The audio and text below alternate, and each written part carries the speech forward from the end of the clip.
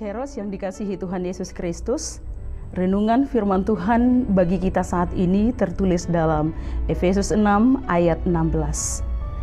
Dalam segala keadaan, pergunakanlah perisai iman, sebab dengan perisai itu kamu akan dapat memadamkan semua panah api dari si jahat. Sobat Kairos, dalam strategi perang, Hal utama yang perlu dipersiapkan oleh seorang panglima perang adalah dia harus terlebih dahulu mengenal siapa dan sejauh mana kekuatan atau kelemahan dari lawan tersebut. Peperangan tidak secara otomatis hanya melawan yang kelihatan antara daging dan darah. Namun bisa juga peperangan itu melawan yang tidak kelihatan yaitu roh-roh jahat, iblis, penyesat. Sebagai orang Kristen, setiap waktu kita bisa saja diperhadapkan kepada peperangan rohani antara yang baik dan yang jahat. Apakah itu peperangan melawan kegelapan, melawan ketidakadilan, melawan sifat egois atau keakuan sesama manusia? Peperangan antara yang baik dan jahat akan terus berlangsung, di mana dunia akan berusaha mengikat orang yang hidupnya di dalam dunia agar senantiasa hidup dalam kegelapan. Sedangkan mereka yang hidupnya di dalam Tuhan teruslah bersinar, menerangi kegelapan dengan mengenakan perlengkapan rohani. Sobat Kairos di mana pun berada, firman Tuhan hari ini mengingatkan agar kita senantiasa mempersiapkan diri melawan si jahat yang berusaha dengan berbagai tipu daya untuk menyesatkan hati kita agar jauh dari Tuhan. Salah satu cara yang perlu kita persiapkan agar dalam segala keadaan kita harus mengenakan perisai sebagai alat pelindung.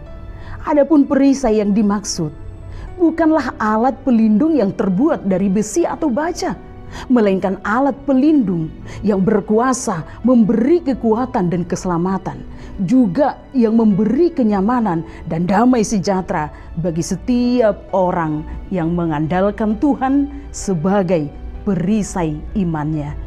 Itu sebabnya orang berkata, "Tuhan tempat perlindunganku dan kubu pertahananku, Allahku yang kupercaya."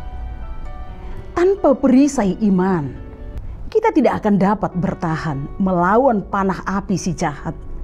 Untuk itu kita harus sungguh-sungguh membangun hubungan dengan Tuhan melalui firman-Nya. Menjadikan Tuhan sebagai satu-satunya Tuhan dan juru selamat dalam hidup kita. Jangan pernah ragu. Jangan pernah khawatir akan penyertaan Tuhan. Yakinlah bahwa Tuhan akan senantiasa melindungi orang yang percaya kepadanya. Salah satu perlindungan Tuhan yang nyata yaitu kepada Sadrak, Mesak, dan Abednego, di mana perapian menyala-nyala tidak mengenai tubuh, bahkan sehelai rambut mereka pun tidak terbakar. Mengapa? Sebab mereka menjadikan Tuhan sebagai perisai iman mereka. Juga perlindungan Tuhan atas Daud saat mengalahkan Goliat di mana hanya dengan satu batu sungai, Daud menjadikan Tuhan perisai imannya untuk mengalahkan Goliat. Sobat Kairos yang dikasihi Tuhan, banyak godaan di dunia ini yang senantiasa siap membawa kita kepada kebinasaan. Dan itulah yang diinginkan oleh si iblis penyesat. Agar tidak ada satu orang pun di antara kita yang beroleh keselamatan.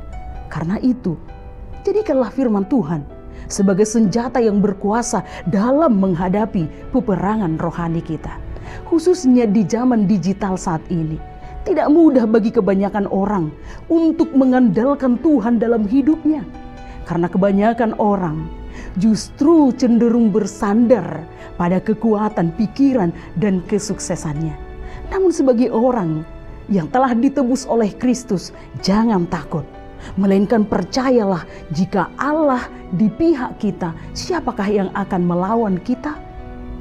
Jadikanlah Tuhan sebagai perisai iman kita. Agar kita mampu melawan keakuan dan keegoisan kita. Hawa nafsu dan keserakahan yang tidak dapat terkendalikan. Karena itu berserahlah hanya kepada Tuhan. Amin. Selamat beraktivitas bagi Sobat Kairos di mana pun berada. Tuhan Yesus memberkati. Amin.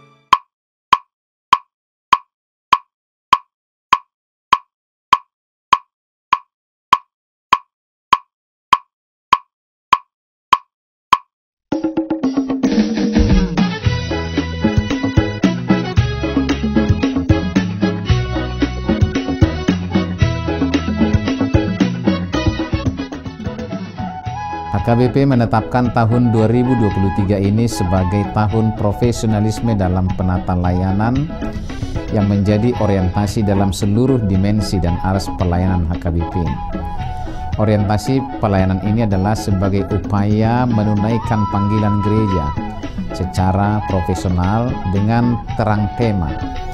Kerjakanlah keselamatanmu dengan takut dan gentar dari Filipi 2 ayat 12 dan subtema mewujudkan penata layanan Hajuara Bagason yang profesional di tengah-tengah gereja dan masyarakat demi pelayanan jemaat dan penata layanan keuangan untuk menjadi gereja lebih mandiri, berkeadilan, bersukacita, dan meneladani Kristus. Untuk mendukung pelaksanaan tema dan subtema itu, HKBP Distrik 8 DKI Jakarta telah membentuk panitia tahun profesionalisme dalam penata layanan di HKBP Distrik 8 DKI Jakarta yang akan bertugas menerjemahkan orientasi pelayanan itu melalui program-program unggul dan prioritas demi kualitas pelayanan di segala aras. Program unggulan dan prioritas didesain dalam bentuk pembinaan, pelatihan, pendampingan, hingga penguatan bagi para pelayan tahbisan, pelayan non-tahbisan, dan seluruh warga jemaat. Sehingga melalui program tersebut akan tercipta penata layanan menuju aktivitas gereja yang kokoh dan solid melaksanakan tugas panggilannya dalam dimensi koinonia, marturia, dan diakonia yang penuh dedikasi dan tanggung jawab. Profesionalisme dalam penata layanan bukan hanya menyangkut kemampuan tata kelola dan manajemen administrasi dan keuangan, namun juga akan menyasar penguatan interaksi dan relasi yang saling peduli dan saling melayani di tengah kehidupan warga HKBP. Maka sebagai bagian dari upaya menyukseskan program pelayanan yang akan dilaksanakan pada tahun profesionalisme dalam penata layanan HKBP di Distrik 8 DKI Jakarta. Kami mengajak seluruh warga HKBP Distrik 8 DKI Jakarta, para pemerhati dan juga simpatisan untuk memberikan dukungan penuh melalui doa, daya, dan dana sehingga orientasi pelayanan ini berbuah baik demi kemuliaan nama Tuhan. Tuhan Yesus memberkati kita semuanya. Horas, horas, horas.